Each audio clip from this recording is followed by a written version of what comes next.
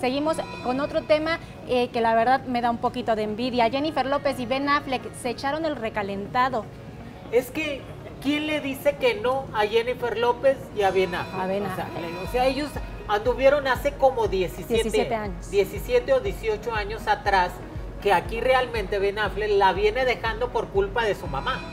La mamá de Ben Affleck le dice, porque la mamá era muy racista y no quería que anduviera con alguna latina, por eso después Ben Affleck se casa con esta Jennifer, que es rubia, rubia totalmente, y hace que corte completamente con Jennifer López, que Jennifer López en ese momento estaba enamoradísima de Ben Affleck. Dicen que cayó en depresión, que no se pudo levantarlo luego.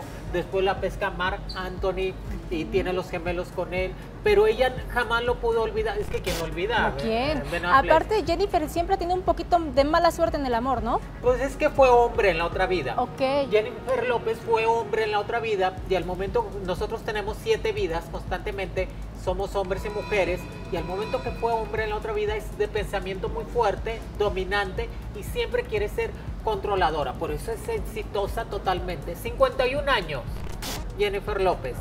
Que si yo los veo que están juntos desde febrero, ¿eh?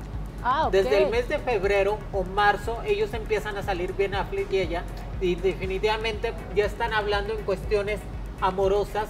Y aquí a Alex Rodríguez, pues ya le dieron los celos.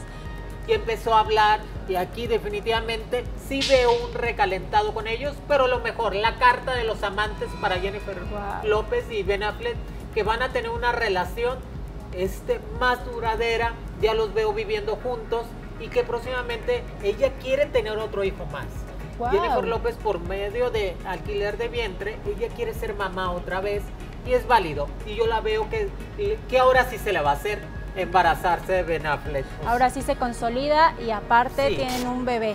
Pues Es que la segunda, a veces la tercera la vencida, pero aquí va a ser la segunda y la vencida con Ben Affleck y estar completamente ¿Y ahí se queda ya Jennifer? Sí, yo creo que ahí ya madura la relación.